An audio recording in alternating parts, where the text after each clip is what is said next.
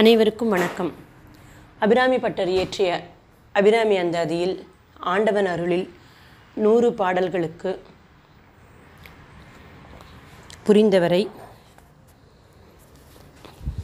கூறி தற்போது நூற்றி ஒன்றாவது பாடலாக நூற்பயனாக இந்த பாடலை ஆசிரியர் கூறியுள்ளார்.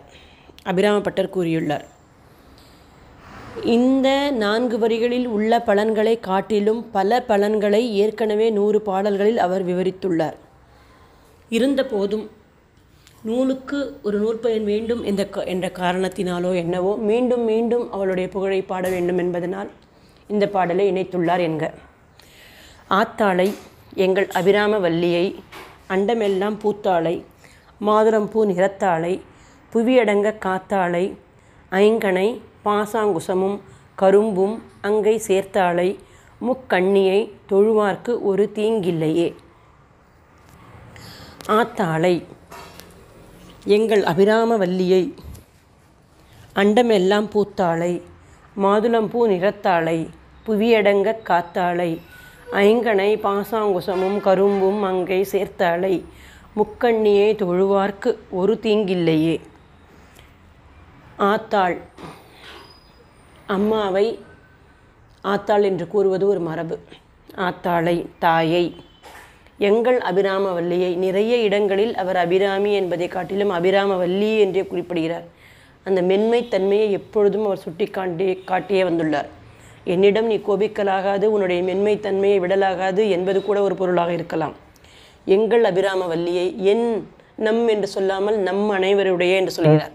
ஆத்தாளை எங்கள் அபிராமவல்லியை அண்டம் எல்லாம் பூத்தாளை இந்த பிரபஞ்சம் முழுவதும் பரவி இருப்பவள். பூ பூ பூப்பதற்கு வேறு எந்த உதவியும் தேவையில்லை. அதே போல் தானாக சுயம்புவாக தோன்றியவள்.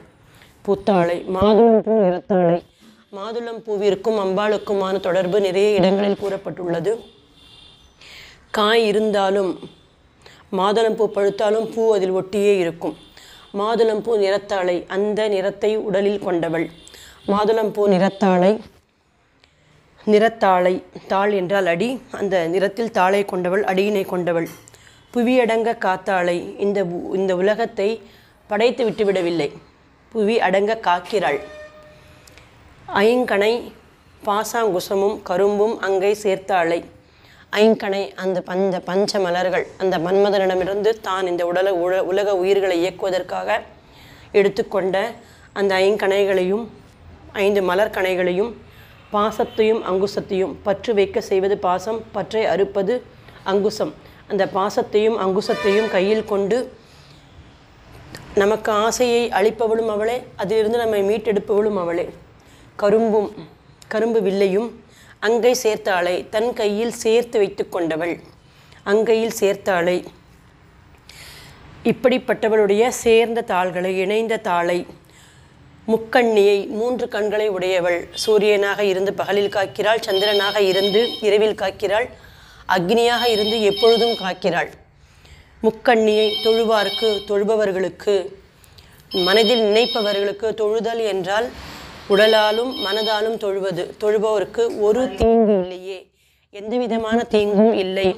அவர்கள் தங்களுக்கு தீமை என்று நினைத்தாலும் அத்தகைய தீங்கு அவர்களை அணுகுவதில்லை. ஒரு தீங்கு இல்லையே என்று பாடுகிறார். அபிராமி பட்டர். ஆத்தாளை எங்கள் அபிராம வல்லியை அண்டமெல்லாம் பூத்தாளை மாதுளம்பூ நிறத்தாளை புவியடங்க காத்தாளை ஐங்கனை பாசாங்குசமும் கரும்பும் அங்கை சேர்த்தாளை முக்கண்ணியை தொழுவார்க்கு ஒரு தீங்கு இல்லையே. எந்த விதமான தீங்கும் கிடையாது. எந்த விதமான தீங்கும் வராது. நாம் தீங்கு என்று நம்முடைய அறியாமையினால் நாம் நினைத்து கொள்வது தீமை ஆகாது. நாம் நாம் அறி நாம் அறியாமையினால் தீங்கு என்று நினைப்பது தீமை ஆகாது அவளுடைய அவளை தொழுதல் என்பது உடலால் மட்டுமின்றி மனதாலும் தொழுவது. உடலால் முடியவில்லையா? மனதாலாக தொழுவது. மனம் எங்கோ இருக்கிறதா? உடலாலாக தொழுவது. இவ்வாறு இவ்வாறு தொழுபவருக்கு ஒரு தீங்கு இல்லையே. தீங்கு என்பது ஏதும் இல்லையே. இல்லை இல்லை ஏகாரமிட்டு அறுதியிட்டு கூறுகிறார் அபிராமிப்பட்டர். ஆத்தாளை எங்கள் அபிராம வள்ளியை அண்டமெல்லாம் பூத்தாளை மாதுளம்பூ நிறத்தாளை புவியடங்க காத்தாளை ஐங்கனை பாசாங்குசமும் கரும்பும் அங்கை சேர்த்தாளை உக்கண்ணே தொழுவார்க்கு ஒரு தீங்கு இல்லையே. அபிராமி பட்டர் ஆண்டவன் அருள். ஆத்தளைகள். ஆத்தாளை.